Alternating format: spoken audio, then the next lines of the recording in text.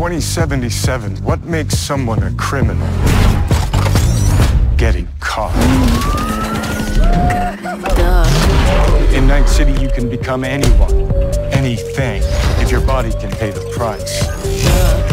So seize the day, then set it on